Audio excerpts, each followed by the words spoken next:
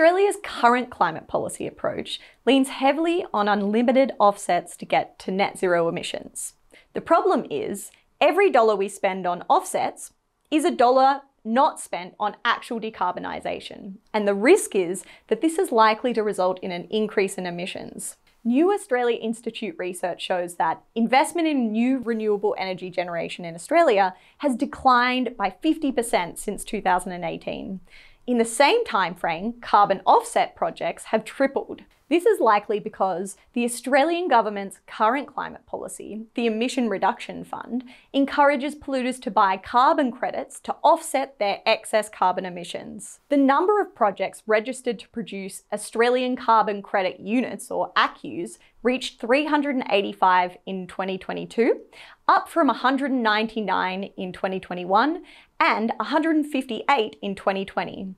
Early numbers suggest even higher numbers in 2023. One of the biggest problems with the ERF, though, is that it is discouraging investment in actual decarbonisation. If a company can go the cheap and easy route to buying some carbon credits, then why would they invest in renewable energy? Or invest in potentially expensive new technology that would actually lower their emissions? Australia used to have a climate policy that encouraged decarbonisation.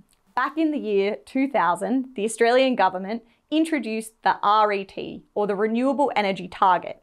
This essentially set out a target for renewable energy as a percentage of Australia's total energy generation. This target was reached early in 2019. All good news, right? Well, since the target was met, a new one hasn't been introduced, essentially phasing out the policy, and we've seen a slump in renewable energy investment since. But it gets worse. Under the RET, Australia saw a decrease in emissions. In 2022, the RET achieved 45 million tonnes of emissions reduction. Compare that to at best 18 million tonnes by the Emission Reduction Fund's carbon credits.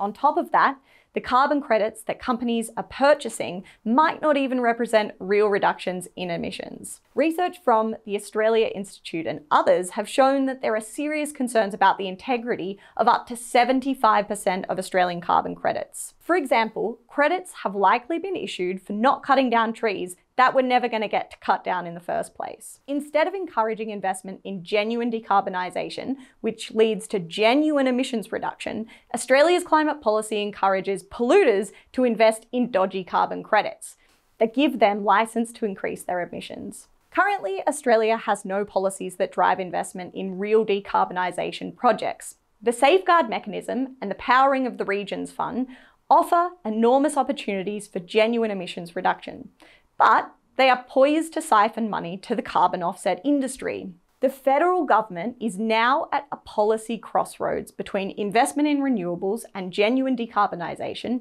or the previous government's creative accounting tricks.